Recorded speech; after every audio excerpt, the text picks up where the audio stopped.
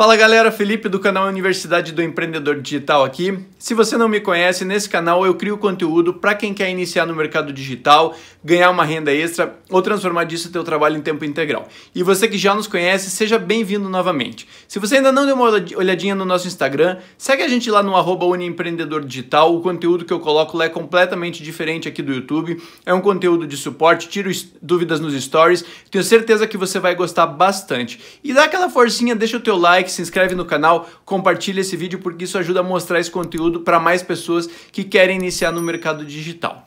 Hoje eu vou falar um pouquinho para vocês sobre como você pode ganhar dinheiro com gift cards no Mercado Livre. Você pode ganhar pouco, você pode ganhar muito, só vai depender do teu trabalho. Se você ainda não está familiarizado com gift cards, o que são gift cards? Gift cards são códigos, são vouchers eletrônicos que eles valem dinheiro. E esses gift cards eles podem ser trocados por aplicativos, por jogos de videogame, por programas de computador, por créditos para Netflix, por exemplo, e em alguns casos nos Estados Unidos você pode comprar produtos em lojas com esses vales presente. Qual que é a vantagem desses produtos? Esses produtos eles são bons porque eles giram extremamente rápido, você pode ganhar dinheiro muito rápido.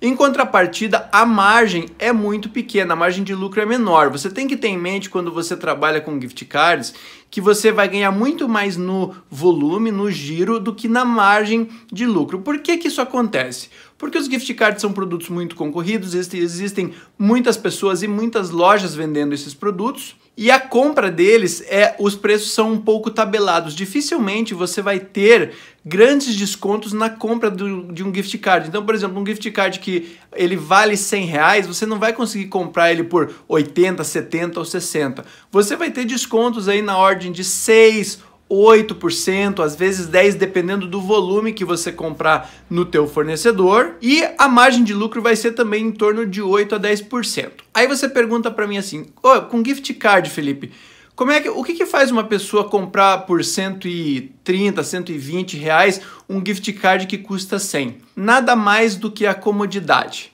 O gift card, por que, que ele é vantajoso? Porque como o envio dele é virtual, você não vai pegar o gift card, o código, colocar no correio e mandar para o teu cliente, ele vai receber na hora, ele vai ser utilizado na hora. É por isso que as pessoas compram gift card online, especialmente no Mercado Livre. É pela facilidade e pela praticidade em você ter aquele código na mão, porque muitas vezes o usuário ele é um gamer, ele é um usuário de celular, ele precisa daquele aplicativo na hora, então ele faz essa compra online para ele receber mais rápido e ele vai pagar um pouquinho mais caro por, por isso, ao invés de ele ir numa loja física e comprar este gift card. Então nós vamos para a tela do computador. Agora eu vou te mostrar qual que é o procedimento que você pode ganhar bastante dinheiro fazendo isso e nós vamos fazer algumas considerações em relação a fraudes com gift card. Galera, vamos lá então.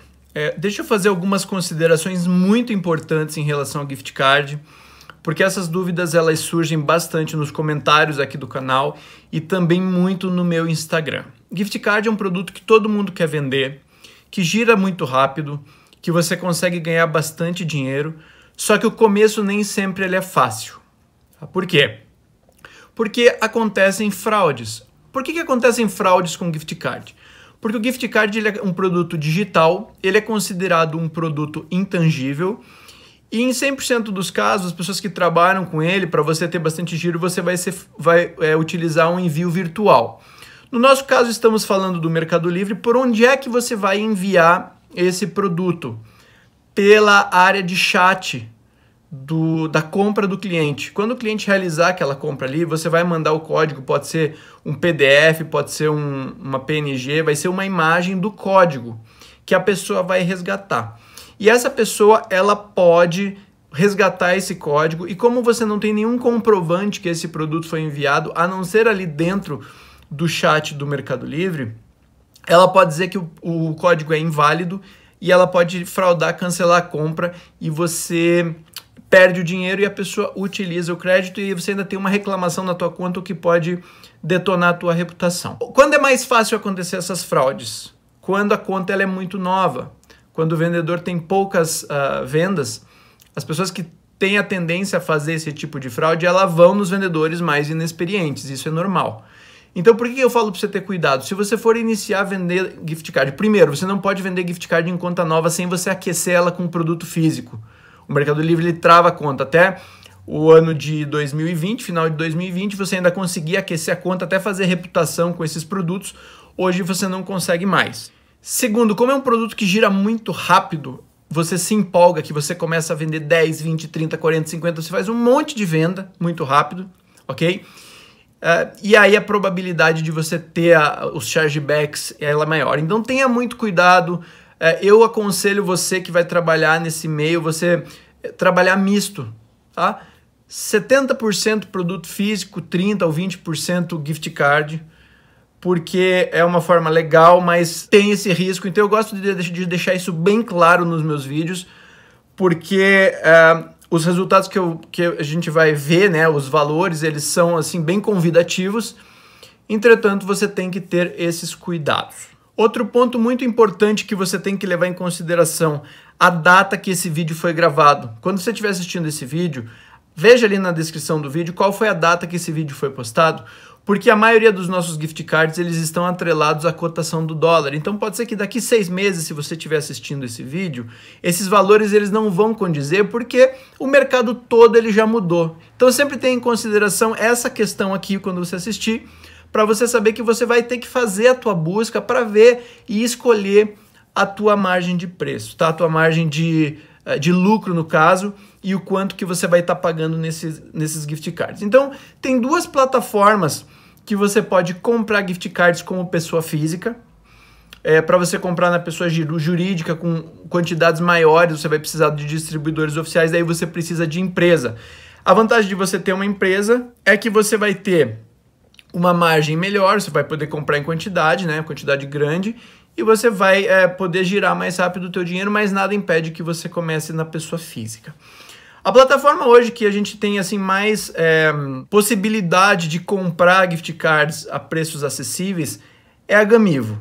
A gamivo.com. A gente tem também a G2A, que é uma outra plataforma que você consegue comprar gift cards.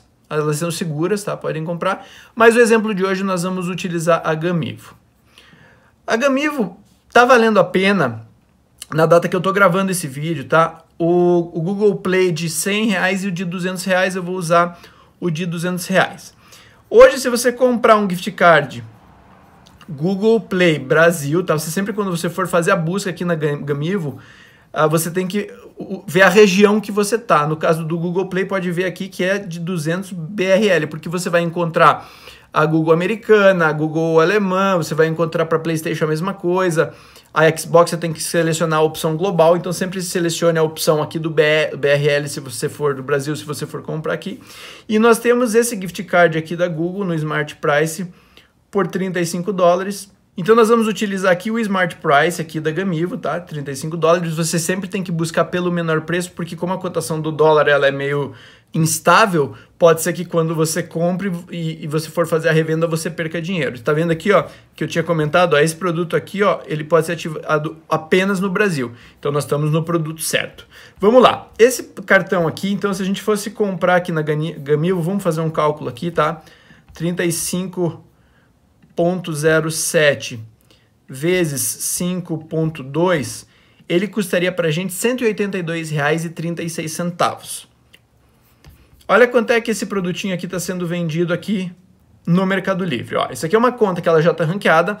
Você também pode chegar nesse nível. Tá? Vendendo gift card não é, não é difícil você subir a conta e ter bastante venda. Ele está R$ 259,99. Então vamos guardar esse valor aqui, 182,3. 259,99 está num anúncio de parcelamento sem juro. Vamos lá, menos 16%. Tá? menos 189,3. Então, cada gift card desse está rendendo 29 reais. Se a gente multiplicar isso por 583 unidades vendidas, esse gift card aqui ele rendeu 16.960 reais para esse vendedor. Só esse gift card aqui. A gente está considerando que não tem custo de envio, tá? Isso aqui é envio digital, então você não vai ter custo de envio. Agora, se você for trabalhar com produtos mais baratos, por exemplo, se você for trabalhar aqui com Google Play, vamos colocar 30, tá? Produtos mais baratos. Ó, não tem estoque, leve em consideração que você tem que embutir aquela taxa de 5 reais para produtos abaixo de 79. Então não se esqueça disso, porque se você trabalhar com um produto mais barato, a tua margem vai ficar mais achatada. Tem gift cards que você vai ganhar 2, 3, 4 reais. Você vai vender um volume muito grande? Vai, mas se você tiver alguns chargebacks, você vai ficar no prejuízo. Então aí tá dada a dica, tá pessoal? Espero que tenha sido útil. Só sejam cuidadosos quando vocês forem trabalhar com compra e venda de gift card. Espero que esse conteúdo tenha sido útil para vocês. Eu vou deixar aqui na, na descrição desse vídeo uma playlist de gift cards que eu tenho bastante vídeo já a respeito disso, tem como vender, um blueprint de como você se comunicar com o cliente, como evitar fraudes. Esse material já está aqui no canal, então não se esquece de dar uma olhadinha, tenho certeza que você vai gostar bastante. Se você gostou desse conteúdo, dá uma forcinha, deixa o teu like, se inscreve no canal, ativa as notificações, compartilha esse vídeo porque dessa forma você me ajuda bastante a mostrar esse conteúdo para mais pessoas que querem ganhar dinheiro na internet. Muito obrigado pela tua audiência, um grande abraço e até a próxima.